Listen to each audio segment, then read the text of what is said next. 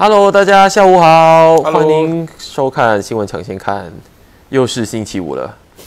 然后现在每个星期五的那个主播们都会不见，所以我们我就要就要又要找又要找我来了，这很可怜啊、OK，我们等一下大家上线啊。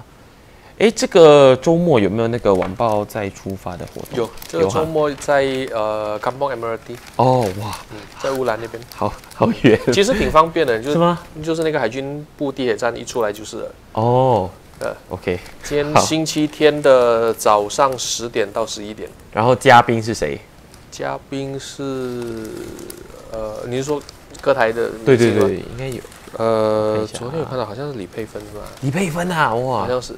，OK，好。呃，大家这个星期天有空的话，就是到这个海军部这边啊，Kampong Admiralty 这边来找晚报，嗯，因为可以看表演，倒数第二场哦。倒数第二场哈。对，而且我们一开始到现在就是请一些歌台的大咖嗯。来跟大家一起做互动啦，从第二期开始，对，对，就有刘心凌、有浩浩、嗯。李佩芬嗯，对，目前是这三位哦，好像是在上面。好像是对。嗯，好，所以大家有空的话，赶快来，呃，一起跟我们共度一个星期天早上。这个星期天，OK，这个星期天早上十点到十一点点，对。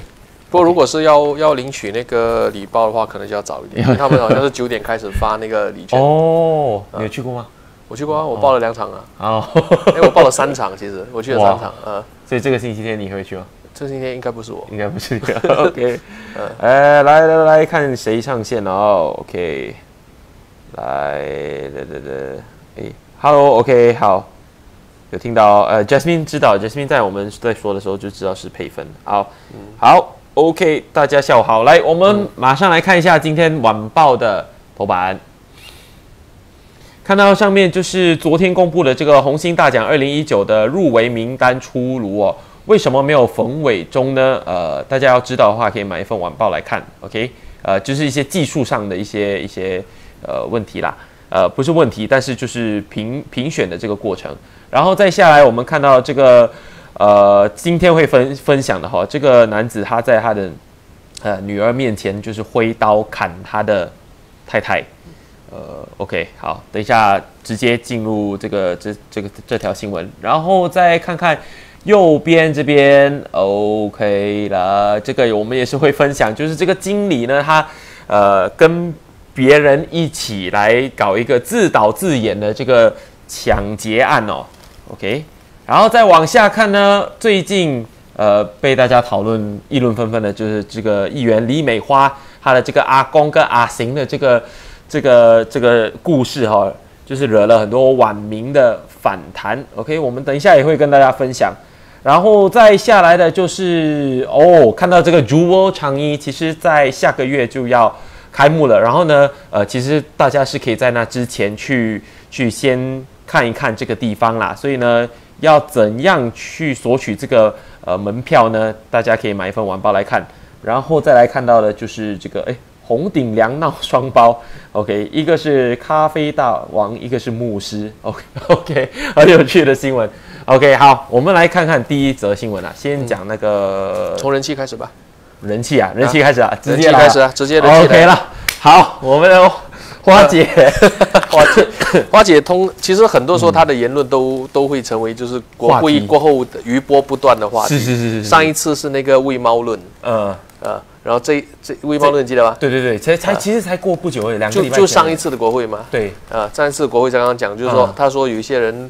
呃，喂猫之后，那个食食物放在那边，然后引来老鼠，是是是是。然后往上反弹的声音就出现了。而。且很多人去拍照，就是证明他是他的说法，其实有有有证明他的说法的，那么也有一些喂猫的人讲说，我每次都是等猫吃完了之后才走的，对对对对对呃对对。然后你哪只眼睛看到是 是是是这些东西的啊，然后这一次又是另外一个对，这次又是另外一个。那么这一次是他在国会上面，就是说那个阿公跟那个呃死鬼仔败家子嗯。的那个那个故事的，他的就是就是讲说，呃，那些每年要政府给他钱的那些人啊，他们说他是一个是是那个死鬼仔败家子，嗯。啊，那么呃，有些人就觉得说，哎，李美李美花这个提醒其实很及时，就是说我们不可能就是指望政府每年都来分钱，是，那是那个是一个呃一个一个没有理性的一个做法，嗯。但是也有一些人觉得说他的用的这个语气，呃，没有必要这么严重啊。嗯呃，那么呃，他可能就是听的，就是说那种死鬼仔啦、败家子这种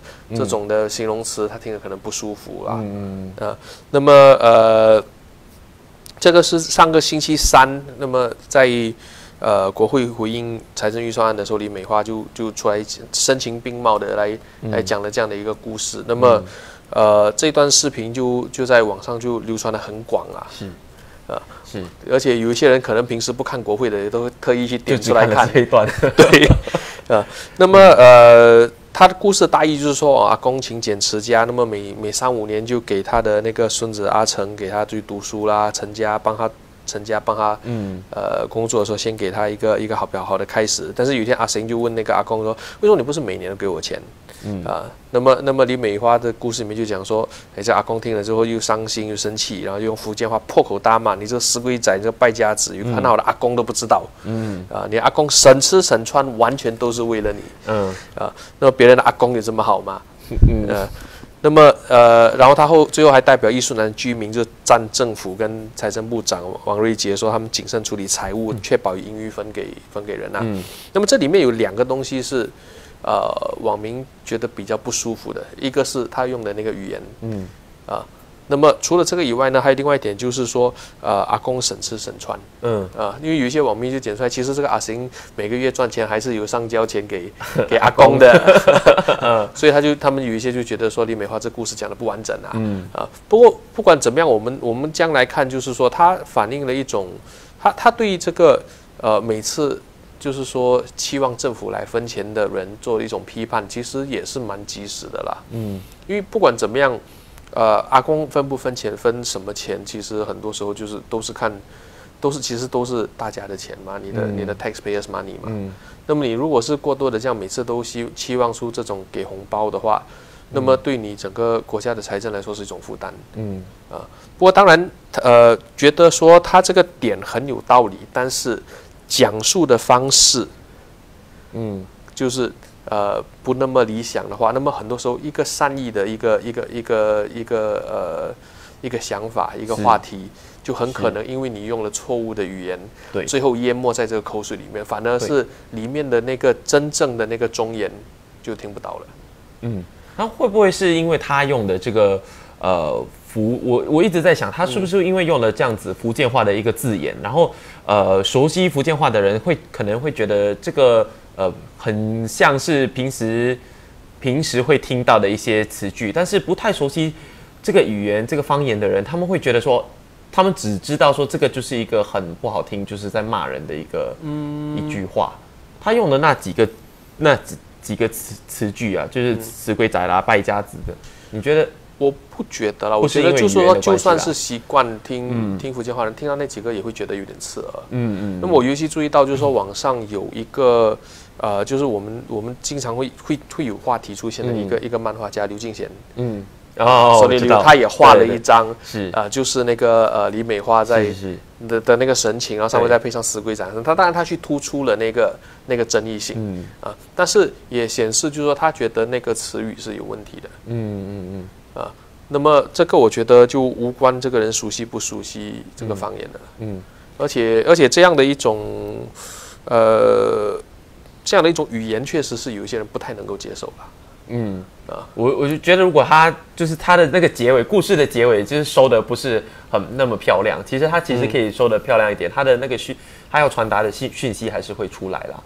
就是就就就是后面的那一部分太过情绪化的去说了这两两个两个确实是，确实是有可能是这样，所以就这个是可能就是一个词句的选择的问题。嗯嗯。啊，不过当然，如果是像以前 Under One Roof 那样答对的话，是 the model of the story，、哦每个人也是晕了，因为现在不管怎么样，人家不喜欢说教嘛。是。啊，不过至于李美花自己是怎怎么去想，她为什么去做这个决定的话，我们有尝试去联络她，不过到呃截稿前，她都还没有回应。嗯所以我们不懂他最他其实具体他到底为什么去用这样的一个刺耳的一个比喻，我们不知道啦。是，呃。呃，我们看到一些呃观众的一个反应，就是 Uni 是觉得说 I think it's okay，嗯，他看了他看过那个视频，他觉得是一个很 local 的 feel，、而且他觉得这个就是一个非常呃很真实，在反映很真实的一个情况，就是说你刚刚所说的，就是在督促，在在定呃。在在提醒人家说，就是不要每每一年都是向阿公要钱其实。其实这个道理，我相信很多人是知道的。嗯，那么只是就是就是那个措辞咯。然后我们去访问那个社工，那么李长辉先生他说的是，哎，他的说法很接地气，能够深入浅出的说这个问题。嗯，只是在结尾的时候，他抬高他要宣传的对象，嗯，踩低那些在听这些话的人。嗯，那么你这样的效果就就不好了。嗯，所以主要其实是这个问题啦。那么当然，我们我们还是非常肯定他是他其实是出于善意的一种提醒。是呃，其实有看到谁，Ste Stephen 就说哦、是是傲慢，他觉得这样子的是一个傲慢的表现啦。那但是也有德才说，哎，李美花也只是把他所看到的呃现象，用生活化生活化的方式来来呃表达他的意见啦。我的看法是这样：如果你要说一个人傲慢的话，这个形容词我我觉得很难套在林美花身上啊。嗯他他给人的感觉可以有各种各样的，但是傲慢两个字跟他好像扯不上关系。我不觉得这是傲慢啊。不是傲慢，但是应该呃，刚刚这个 Stephen 的这个说法，应该也是反映了一些网友在说，就是就把他的这样的一个行为把他拉大，说，哎，这个就是他们就是说就会说啊，你看你们就是政府每次就是用一个从从上从上到下压下来的感觉啊，对对对对，那个那个可以可以理解了。嗯，但是我觉得这样子去去扭曲的话，我觉得有点太太太多了啦，有点反正言话说多了都不太好，是是是是，言多必失。对对对对对。呃，所以他他就成为了这个哎，可可是其实那个 国会还有很多其他的报道啊，很多其他的政策，还有很多大家可以很多很多精彩的内容。是是，大家拜呃。拜托就是也是可以去看一下，然后翻一翻就是早报我们的那个网站上面啦，App 上面都是常常有我们记者最及时的这个报道，然后跟大家说一下说那个议员在讨论的时候，在辩论的时候说了一些什么东西啦，所以就是不要让一个这样子的一个一个插曲。一个个案一个插曲哈，就是盖住了今年这个非常重要的一场一场辩论。这样其实今年的整个的那个各个部政府部门的那个开支预算报告，还有就是之前的那个预算案的话，嗯几乎每天都有亮点。嗯，其实其实如果去仔细去看的话，其实每天都有一个亮点。对，呃，就就不只不只是他的新闻啦，对呀、不止不只是这个这个败家子的那个 那个谈话了。对，然后呢，我们的那个我我看到那个晚晚报还有那个早报的那个面部上面，就是我们在分享这则新闻的时候，其实也有很多网友在很热议的讨论这个东西啦，所以也也请大家讨论归讨论了，然后就不要开始 互相对骂这样子，因为刚刚讨论的时候，上网讨论的时候，必须要注意要有风度。是，而且要冷静啊，不可以就是是哇，呃，我觉得我们应该是已经过了那种谩骂的那个时代。是吗？我觉得我们应 我们或者说我们应该应该把那种呃谩骂的东西放下来。是，那么大家能够理性的在网络上讨论，那么才是一个呃有益的一个空间。对啊对啊对啊要不然的话，你两边互相骂来骂去，谁也说不服不了谁，对。连面也见不到。你就算是要打对方一巴掌都打不到，对不对？没意思嘛。对啊，这意见是很好啦，因为毕竟他也能够有时候帮帮助我们在找新闻或者是在报道的时候，有更多一层的一个不同的见解，因为有时候。大家看到的跟我们看到、我们想到的东西都不一样，所以大家还是保持着冷静。其实你可以帮助跟你持有不同意见的人看到你的观点，我觉得这很很多时候 agree to disagree 是非常重要的。是，OK。所以这个是想要了解更多的话，买一份晚报来看看也。也欢迎就是说到我们面部上面加入讨论，是，现在已经很热了。那我们再浇一把油。我们那个，那我们那个链接有有有分享在那边啊，所以你们可以呀，可以去找一下这对这篇新闻，然后去讨论。嗯，OK，好，接下来我们来看下一则新闻，这个看那个封面头条。啊，头条那个挥刀的那个，对，挥刀的那个，呃，有一对异族夫妻，他们嗯。离婚后撕破脸，然后那个男子就为了发现心中的那个不满的那个情绪，结果居然拿刀去砍他的前妻。但是他拿刀去砍他前妻的时候呢，他的六岁的女儿是在面在现场的，是。所以等于说那个六岁的女儿看到了爸爸砍妈妈，嗯，这个是是一个呃蛮蛮让人难受的一条新闻。是是。啊，那么事情发生的经过是这样的，就是这个呃这名男子他是呃一名住在东北部一带祖屋的私造车司机，那么他的前妻是呃一名高级业务总监，住在北部的公寓，但是呃他们二零一三年离婚之后呢，他会共同拥有那个女儿的抚养权。嗯。所以前妻每天早上会每天呃每天早上会把那个女儿送到那个呃被告的住家，嗯，那么呃下班后再接女儿回家，所以这段时间其实就等于是呃父女的亲子时间呐、嗯啊。那么他们两个之间就是说被告跟前妻，那么当然他关系不好了，要不然也不会离婚啦是是，啊。那么他们经常发生争执，就彼此互相指责对方动粗咯。那么呃陆续就是申请个人保护令。嗯，就是说我保保护对方，呃，保护自己不受对方的那个骚扰啦，或者暴力的那个对待。那么在这件事情，呃，去年呃不是去年，对不起，呃，二零一六年十月十二十一号了，因为这这个事情发生之前一天，那么这个呃前妻跟这个被告他已经是发生过一次争执了，嗯。因为他把车他开车把女儿送到被告楼下的时候呢，传简讯给被告，让他下楼接女儿，嗯。但是被告迟迟没有回应，他于是把女儿带上楼。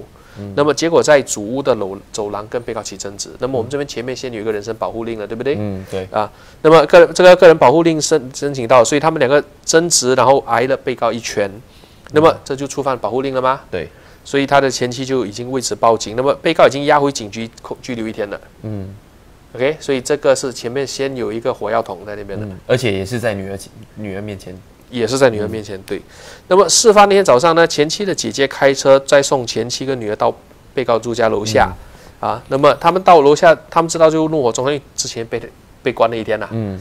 啊，那么他就从厨房里面拿出一把刀，那把刀长十二十一点五公分，相当长的一把刀子哦，啊，那么怒气冲冲的下楼要砍嗯。砍人，那么看到他就开始就是说先去先去砍那个姐姐，因为那个姐姐准备下车，啊，那么前妻就下车帮姐姐，那么就把姐姐推倒在地，然后就开始攻击她。那么这个呃，反正当时现场的照片是血迹斑斑嗯，啊。那么车子里面，现在很多人车子里面都会有那个行车记录器嘛对，他没有完全录到那个砍人的镜头，哦，但是听得到，因为他录了声音，所以听得到那个惨叫声。嗯那么这个昨天在这个呃，在今天早上在那个那个在在在这个整个审讯的过程中，他就有去播放那个嗯。那个那个短片，但是就是说法庭里面那时候是听了一分多钟的惨叫声哦，哇，啊，所以这个是一个相当相当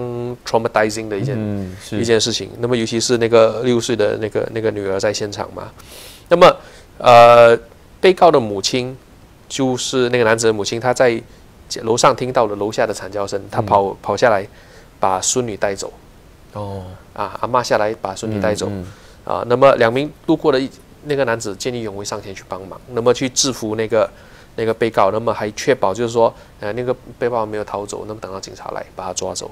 哇，那么，呃，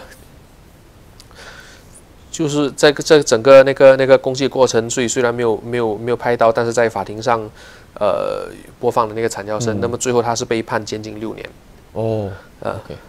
然后这边也看到说，他的就是他这样子攻击他的太太之后呢，其实太太是有这个永久的，左手是永久的残疾，对，对他就他就有一些比较永久的一些一些一些伤害了。哇，那么这个是呃，但是这这个女儿她到底会不会有留下什么心理创伤？这个可能现在也未必能够判断。是，而且呃六岁就是刚刚，我觉得可会刚刚会刚刚开始没有六岁可以的六岁可以记很多东西的，对，呃，呃你你想那个受害人就是他的那个女孩的妈妈的话，她的她现在就算是听到很大的声音的时候，她都会有反应，她都会害怕，哇，所以小孩子会怎么样，是。真的是不清楚，哇，这个很难说。然后哇，但是，所以他没有喝醉哈，嗯，那应该是应该是没没有有喝醉哦，嗯，应该是没有。太好好可怕哦，嗯，你想要一把二十公分长的刀子十公分，的刀，哎，对其实你一般上家里会用到二十公分长刀哦，应该就是菜刀左右了。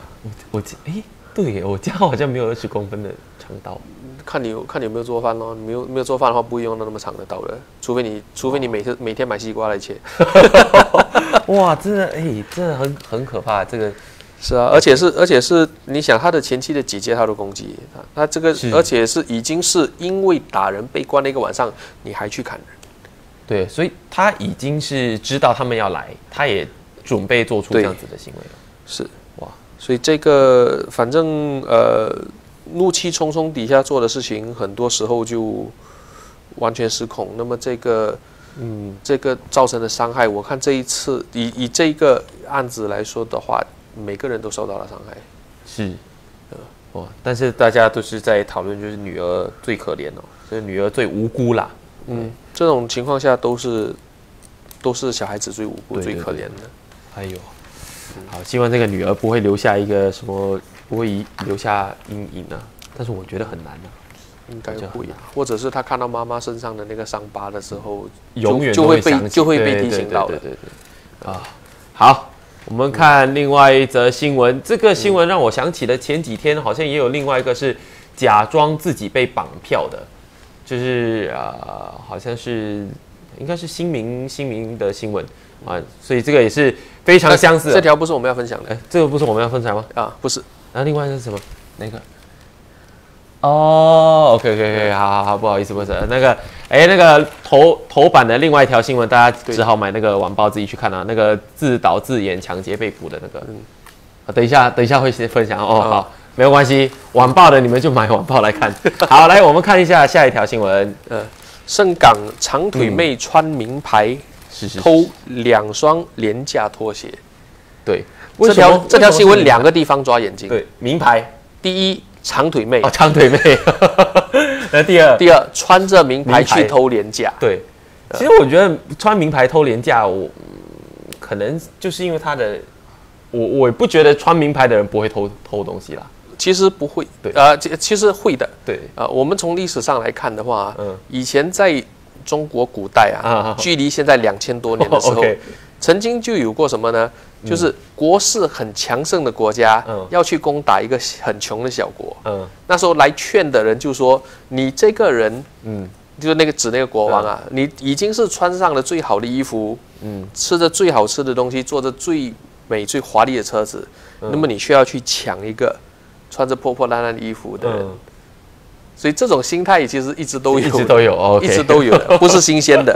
那么这边的话，它是啊、穿着那个名牌的那个外套，连帽外套就 hoodie，就可以、哦可以可以包着头的对，啊。那么以及热裤哦，啊，那么去偷邻居放在外面的普通拖鞋。那么邻居已经是有防盗的那种准备了哦比较贵的鞋子都已经是放在铁门以内了。然后就可能以前都有不见过，可能是有，而且邻居还装了闭路摄像机。对，啊，那么他们去呃，在这个呃 Compassville 呃二百一十二座 C 二百一二十百十一二百一十二 C 座主屋、呃去呃就是说在那边偷拿隔邻居的那个那个鞋子的时候呢，刚好就被那个闭路电视拍到了。是那么警方现在就是说公布这张照片，那么希望找到这个。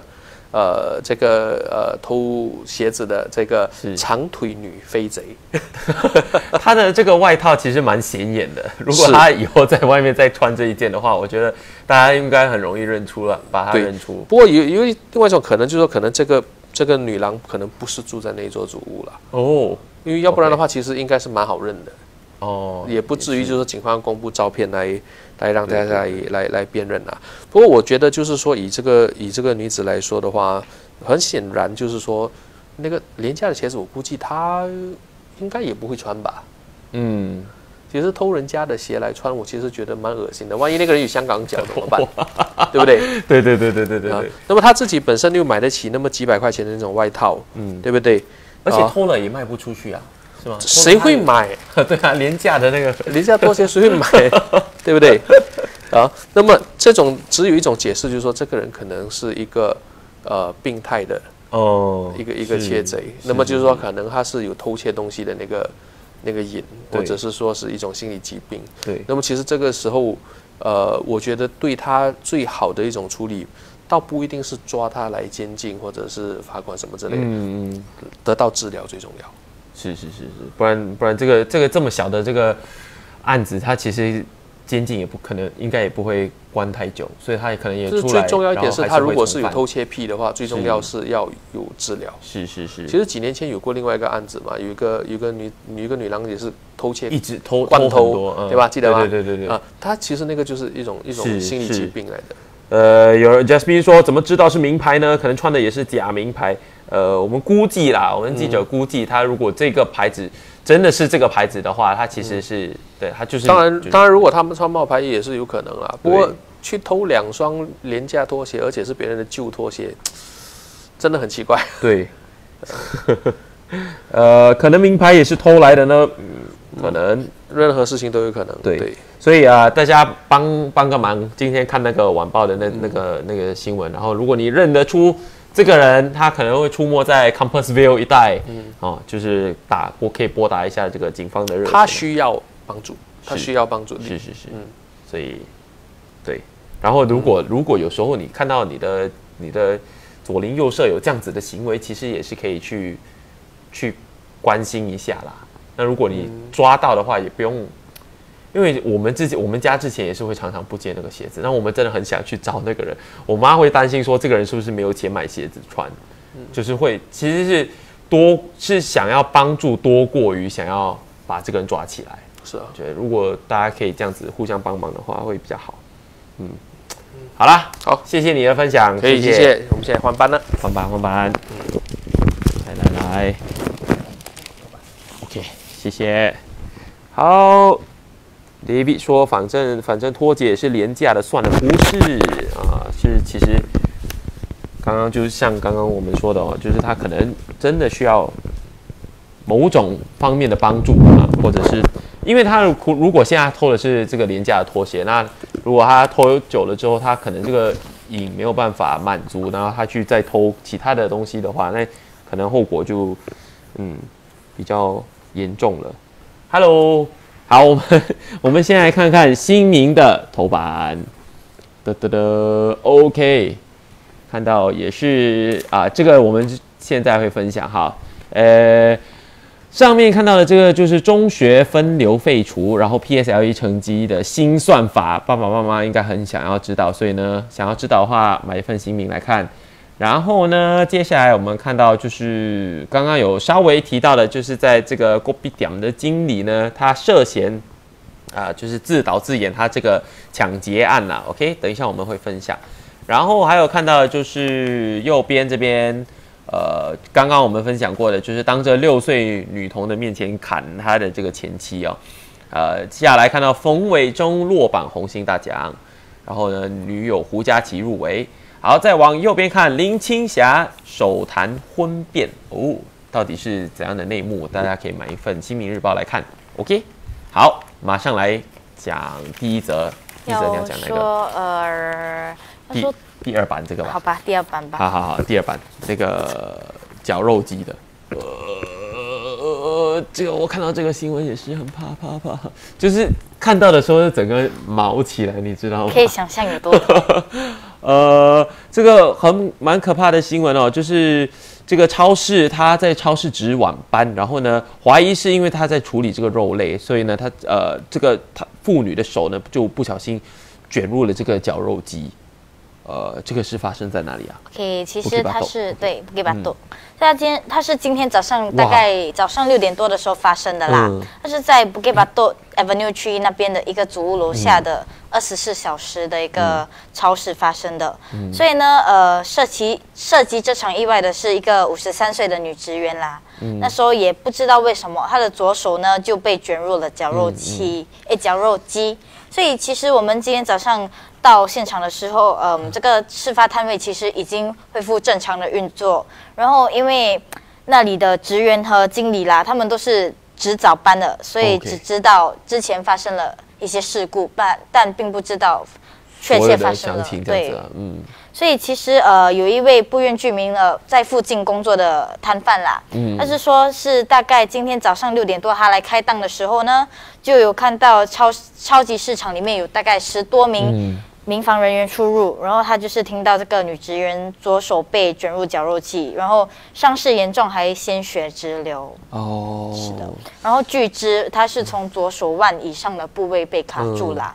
然后其实那时候，嗯，民防部队的，就是那些人员到场救援的时候，就是有尝试帮他，嗯，把手就是从机器取出。不过因为可能那个过程真的是很难，所以最后好像是连人带那个绞肉机一起送上救护车，送到医院去。哇，对。然后对啦，可能绞肉机应该是很很重的，对吗？是因为他们是那种大，而且他就是把肉绞碎。对哦，OK，是的，然后呢，嗯，因为他的伤势，据我们所了解是非常严重的，嗯所以可能啦会保不住，然后需要截肢。哦，是，哇哦，好好好，所以其听实如果可怕，对，如果有观众就是有处理这些绞肉机的话，可能要嗯更小心一点啦。呃呃，这个听起来就是非常非常可怕的哦、然后我真的很担心这个人的他的他的伤势哦，因为有时候因为这个绞肉机有时候他们的那个设定就是。因为它它是要搅很大量的一个那个肉嘛，那它就是会一直搅，一直搅，一直搅，所以你当下发生事情的时候，也不知道它来不来得及把这个停掉。对这个绞肉机停掉，或者是中断它的这个电源哦。然后我们的记者同事有在这边整理了过去呃发生的几次的这个绞肉机呃把把把手卷入绞肉机的这个伤伤势的这个意外啊，是的，呃哇，所以对好像二零近零二零一七年就有两起，是啊，然后二零一四2014年也有两起，嗯，嗯，OK，好，我我之前有一个朋友，他真的是他，但是那个绞肉机应该是应该不是那个绞碎肉的，它是那个切切片的那种，哦，所以他的手真的是有被切到，然后那个那个真的是也是蛮可怕，但是这个是完全是因为它是要绞碎的，这个是因为绞肉切的它可能它可以。它它没有切断，但是它是切了之后，它切的很深，所以它需要去切了一缝。一小块的，对对，切了一一小块这样子，但是很切的很深，是很有有见骨的那种，但是它的它的肉还在那边，所以只要肉还在那边，还是可以去把它缝回去的。但是这个就是哇，我们也不知道详细情况到底它的手就是现在如何了。是，呃，R Y 说为何用手来推肉？呃，不知道啊，不然是用有有有别的东西可以可以用来推是吗？哦，然后大家大家也是有说到，其实这不只是第一次，大家记忆力很好，其实之前都有都都有报报道过。安迪会不会太累？也不知道，看看这个要等6点多对。那这个超市也没有人做出回应哦，就因为他们只是说因为换班，然后不知道之前的事情发生。哦，OK，大家，呃，其实我一直在想，这种二十这种二十四小时的超市，真的有人需要吗？真的有？有吧？可能有些人比较喜欢在宁静的夜晚去哦，呃这这种这种超市、哦，超市啦。OK，或者是可能有些人就是上班到可能晚上十一二哦，点，他们是做夜班，嗯嗯。嗯嗯，OK OK，好，OK，希望这个这个这个这个安迪没有事，OK，祝福祝福他，祝福他，哎呦，是的，啊，好可怕。好，下来我们看这个，这个嗯。这个好，就是那个自导自演，这个时隔的经理，他涉嫌呢串通了两个男子，然后呢自导自演抢劫记。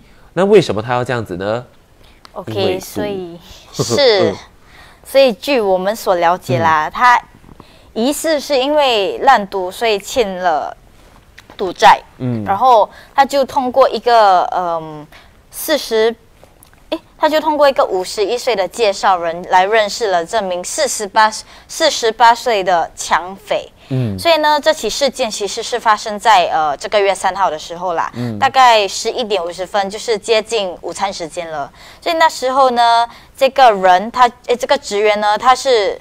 报案讲说有一名陌生男子持刀进入他的办，就是进入这个石哥的办公室，要他交出他那些钱，然后过后他也成功抢了石哥的两万元现金。是，所以呢，呃，警方就是进一步调查了，然后发现这个男职员，诶，那个口供反反复复的，所以就引起警方的怀疑。那呃。过后呢，才发现，哎，原来是这名职员策划了这个抢迟到抢劫案啦。嗯，是，所以，嗯，说，OK，所以呢，呃，那时候他自己一个人在办公室嘛，他就是那个人抢了两万元过后，他就出来，然后出来了，呃，就有摊贩说啦，看到这个男子出来过后，不到一下子，这个经理也出来，然后就问，哎，有没有看到这个男的？把把他没有第一时间就说啊，我被抢劫了什么之类的，他就出去追那个男的，后来回来了才说，哎，我被抢劫了。嗯，所以大家就会，哎，大家就觉得，哎，为什么他的反应就是他回来了才说，而不是一出来就跟大家说啦。而且对，而且呃，就是对啦，他过后就有好几天没有上班，所以大家原本还以为说他是呃。他是惊吓过度，可是原来他涉涉及案件啦，所以嗯，这个劫匪他偷呃，他抢了这个两万元过后，他其实自己只拿到了六千元，嗯，所以相信另外的一万四千可能就是可能啦，因为我们也不清楚，可能是这个经经理跟那个介绍人分，就是各收各的啦，对，嗯，然后因为这个他们就是。还要做戏，要做全套哦。他们就对，所以这个徒匪徒就是进去的时候还拿了厨房刀，然后呃，这个经理呢还就是很惊吓的就服从给了他两万元啦。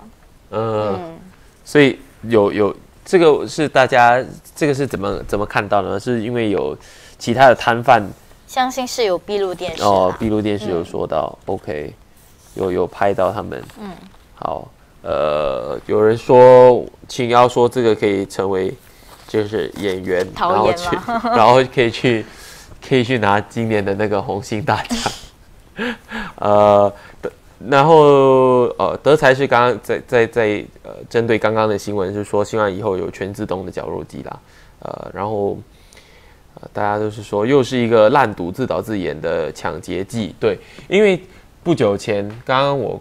呃，我跟可阳说的，就是不不久前，其实新民也有报道一个，也是啊，因为赌博而自导自演了他自己被绑票的一个一个一个经历，这样子。然后在得到钱了之后呢，他是跟那个绑匪一起去吃饭。哦，对，对对对对对，然后就就当场就是之后就是过不久当场就被捕了。对啊，所以呢，这件事情告诉我们，赌博很可怕。可是这个人就他。演全套啦，那个就还去吃饭这样。对对对，这个这个哦，这个演太多，我觉得 就是演演过多了，就是引起人家的怀疑。OK，好，David 说 very creative manager，but his creativity is used in the wrong way。OK，自导自演，他要挑战两导。OK，呃，好啦，就是今天一个人被控，其实那个介绍人也会被控哈。诶，还在受调查，他跟这个经理人都还在备受调查了。OK，对，好，大家不要。那其实，嗯，其实那个劫匪他是就是通过很多的电影画面，就是 trace 到他的咯。哦，嗯，就是这样一个一个接一个，一个接一个这样子。然后相信可能就是他被捕过后才爆出，说这整个东西其实是自自导自演的啦。哦，所以是先抓到他。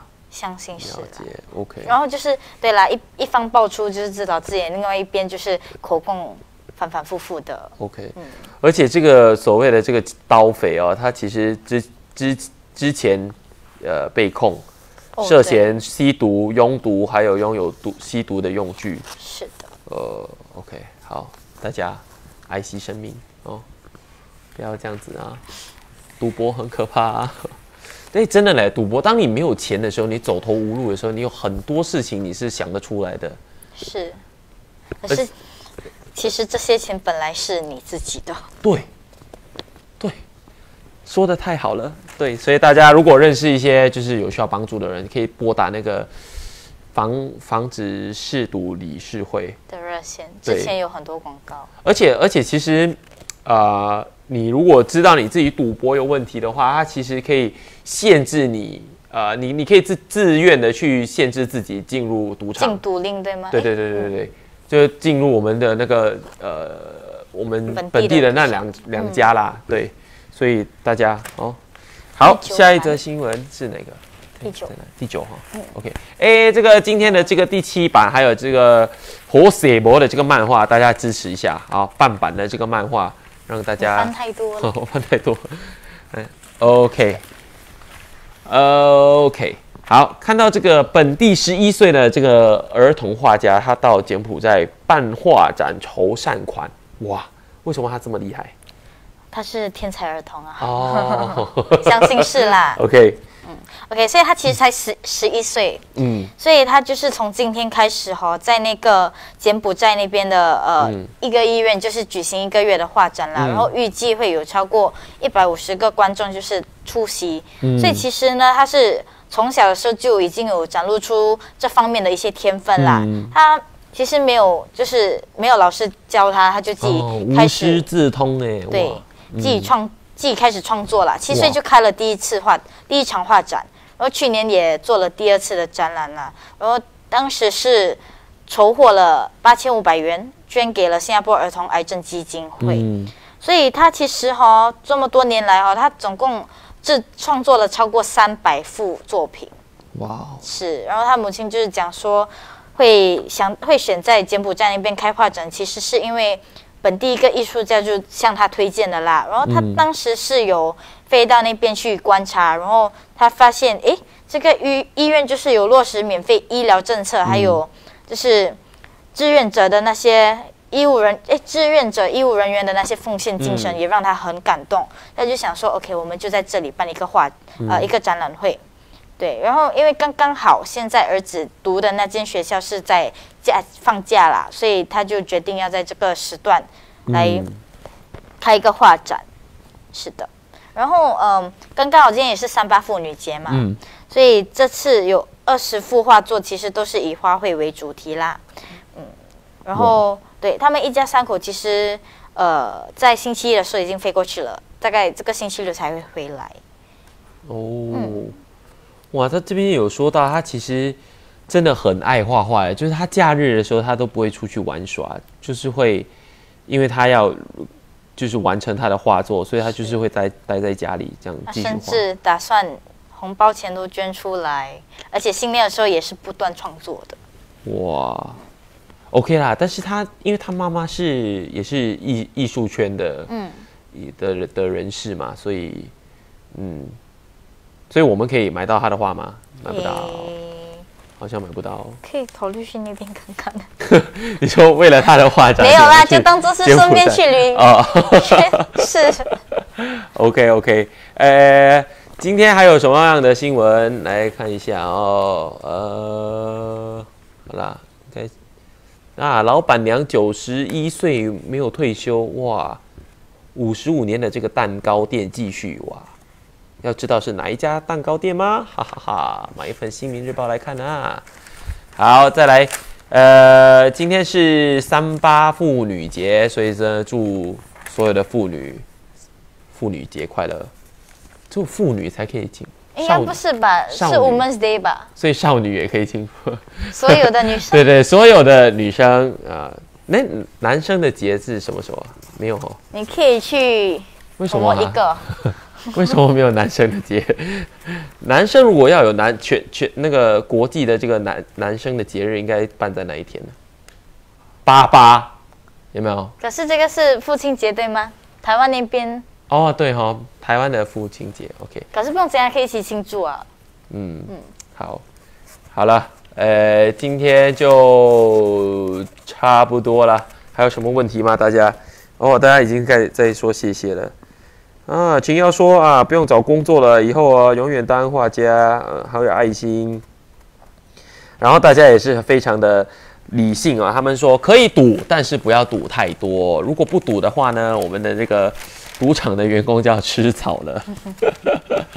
还有什么呢？啊，大家如果要看那个林青霞首次谈她的这个婚变哦，你们可以买一份《新民日报》来看。然后呢，我们刚刚有说到为什么这个。冯伟忠无缘十大哦，所以大家要看的话可以看中间这一版啊，拿远一点啊，你们要看看不到，要买买报纸来看。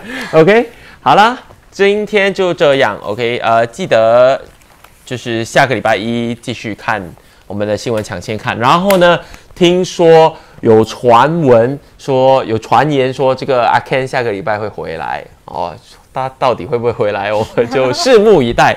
好不好？OK，祝大家有个非常愉快的周末，拜拜。拜。